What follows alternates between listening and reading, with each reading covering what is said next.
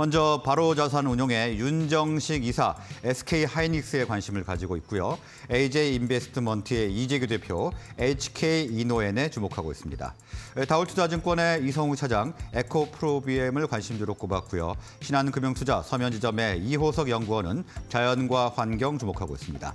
마지막으로 비전 경제연구소 김태성 이사 현대 모비스에 관심을 가지고 있습니다. 자, 그러면 두 분과 화상으로 이야기 나눠보도록 하겠습니다. 바로자산운용의 윤정식 이사, AJ인베스트먼트의 이재규 대표 연결되어 있습니다. 자, 두 분 나와 계십니까? 안녕하세요. 네, 안녕하십니까. 자, 먼저 윤정식 이사님, 미국에서 좀 좋은 소식이 들려왔는데요. 오늘 우리 증시 어떻게 준비하면 좋을까요?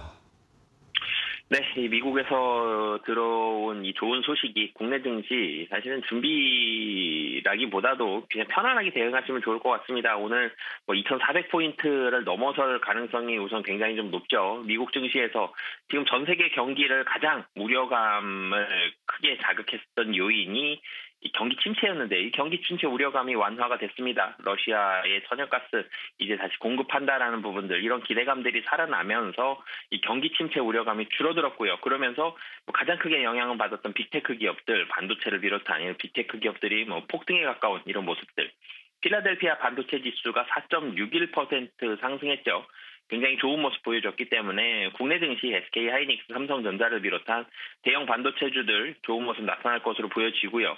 그리고 경기 침체 우려감이 완화됐습니다. 뭐 반도체가 경기 침체 우려감 줄어들었기 때문에 반도체 수요 이 시장의 우려감보다 좀 더 좋아질 것이다. 이런 부분으로 상승을 했죠.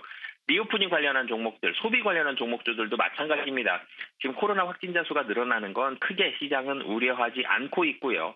그런데 경기가 살아나는 부분에 대해서 경기가 침체가 되면 안 되죠. 경기가 조금씩 나빠지는 건 상관이 없는데 침체가 되면 안 되는데 침체에 대한 우려감이 확 줄어들고 있죠. 투심이 매우 좋아지고 있습니다. 그러면서 리오프닝 관련한 종목들, 항공이라든지 여행이라든지 레저 이런 종목들도 미국에서 다 같이 상승을 했거든요. 미국에서 하락한 업종 중국 전기차 업종 빼곤 다 상승했습니다. 그래서 정말 거의 다 상승을 했기 때문에 국내 시장 분위기 상당히 좀 좋을 것으로 보여지고요. 수급적으로도 좋습니다.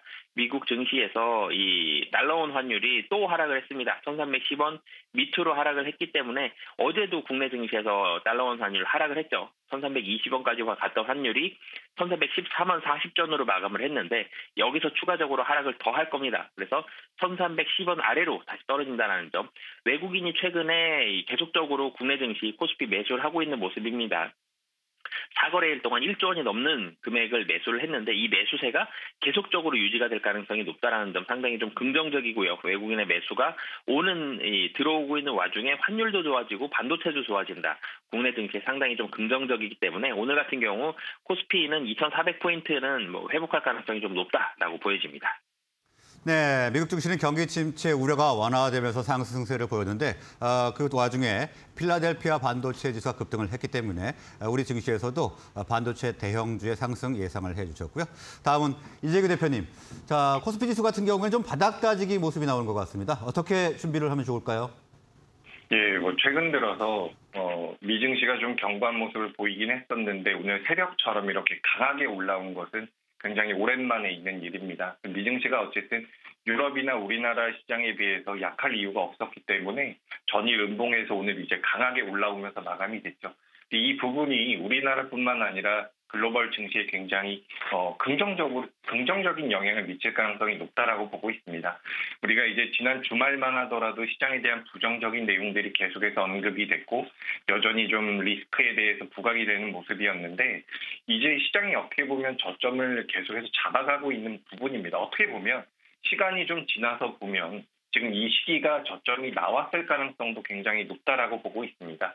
그래서 여러 가지 환경들이 굉장히 우호적으로 진행이 되고 있죠. 특히 지난주에는 시장에 좀 충격을 줄 만한 여러 가지 수치들이 나왔음에도 불구하고 시장 자체가 하반 경직을 보였고 상승까지 하는 모습이 나왔기 때문에 이제 시장 같은 경우는 악재에 좀 둔감해지는 모습입니다. 오히려 좀 긍정적인 내용이 나올 때마다 시장이 좀 탄력적으로 반등을 보일 가능성이 높다라고 생각을 하고 현재 이런 상황에서는 이제 개인 투자자분들 같은 경우에 주식 비중을 많이 가지고 있다라고 한다면 좀 여유 있게 시장을 볼 필요가 있다라는 의견을 드리고 싶고 주식 비중을 지난 뭐 한 달 동안 두 달 동안 계속해서 줄여와서 주식 비중이 굉장히 많이 심하게 줄어들어 있는 상태라고 한다면 부담은 좀 될 수가 있, 겠지만 분할 매수 관점으로 시장에서 다시 한- 다시 한번 매매를 해 보심이 어, 옳지 옳지 않을까라는 의견을 드리고 싶습니다. 그래서 전체적으로 시장 자체가 이제 단기적으로 반등이 좀 나왔기 때문에 어느 정도 올라가다가 일정 수준은 조정을 받을 수도 있겠지만 지금 이제 그런 조정이라든지 일시적인 조정이라든지 눌림 정도는 어느 정도 감수를 하고서 어, 분할 매수 관점으로 접근을 해야 되는 시기다.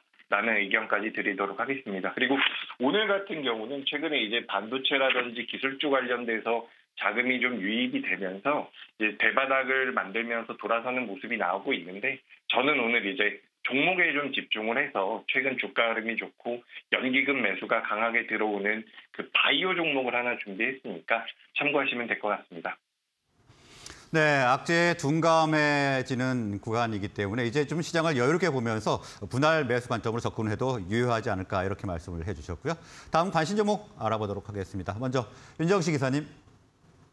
네, 이 반도체 뭐 대표 종목이죠. SK 하이닉스 말씀을 드리겠습니다. SK 하이닉스 7월 초에 바닥을 찍고 이제 올라가고 있는 모습들 보여주고 있는데 9만 원도 깨졌었습니다. 7월 초에 이 연초에 13만 원 이상이었던 주가가 9만 원 아래까지 하락을 했었는데요. 그 이후에 분위기 좋아졌죠. TSMC가 호실적 발표하면서 반도체 바닥을 확실히 좀 다지는 그런 모습 보여줬고요. 그리고 반도체주에 대한 우려감이 너무 과도했다라는 인식들이 점차적으로 나오고 있습니다. 그러면서 분위기가 좋아지고 있는데 대외적인 환경도 좋아지고 경기 침체 우려감도 줄어들었죠. 대외적인 환경이 좋아지면 지금 환율이 좋아지죠. 그러면서 외국인 수급이 좋아지고 있는데 그러면 시가총액 최상위 종목 중에 하나인 SK 하이닉스 수급적으로 상당히 좋고요. 좋아질 가능성 뭐 거의 확실하고요.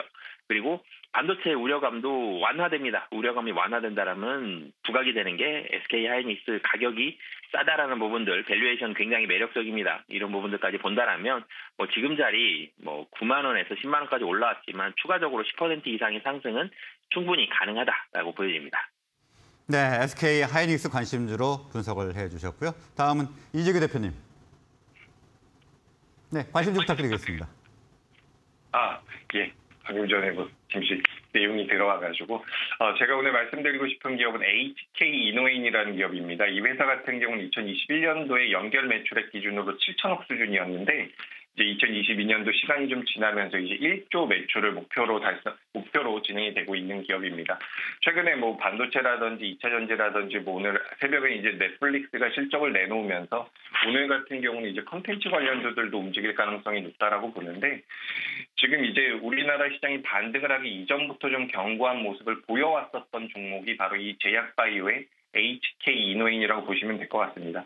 이 회사 같은 경우는 자체 개발 신약이 있습니다. K캡이라는 제품인데 이제 이 제품이 올해 5월 달부터 판매가 시작이 되고 있고 국내 판매가 이제 확대될 것이고 중국이나 미국을 통해서 마일스톤 수출을 하게 된다면 3분기부터 실적이 대폭 개선될 가능성이 높습니다. 제가 확인을 해보니까 2010년부터 계속해서 연구를 해왔던 제품이기 때문에 실질적으로 이제 실적에 반영이 될 가능성이 높다라고 보시면 될 것 같고 그리고 이제 수액제재 신공장 건립이나 뭐 이 건립을 통해서 품질이나 생산 능력이 강화되는 상황인데 뭐 신공장이라고 보긴 좀 어렵습니다. 하지만 이제 새롭게 만들었던 공장이 6월 달부터 강하게 가동이 되면서 실적적인 부분의 메리트가 커질 가능성이 높다라고 보고 있습니다. 그래서 우리나라에서 이제 수액제 관련돼서 이제 세 개 정도 기업이 있는데 그 중에서 이제 2024년도까지 독점적인 지위를 좀 노려보겠다라는 그런 어, 목표를 가지고 있는 상태에서 진행되고 있으니까 참고를 하시면 될 것 같고, 뭐 이제 코로나 이전에 건기식이라든지 건강기능식품이라든지 화장품 쪽에 대한 매출이 있었는데 그 부분이 굉장히 많이 악화됐다가 이제 올해부터는 계속해서 정상화가 되는 과정이기 때문에 이 HK 이노인이라는 기업이 제약 바이오 기업 중에서는 총액도 꽤 크고 거기에 맞게 매출과 영업이익도 잘 나오고 있는 상태이기 때문에 어, 제약바이오 업종이 앞으로 돌아서게 된다면 올라오게 된다면 시장에서 충분히 부각될 수 있는 종목이다라고 생각하기 때문에 시청자분들께서도 이 제약바이오 기업에 대해서 어, 좀 관심 있게 보셨으면 좋겠습니다.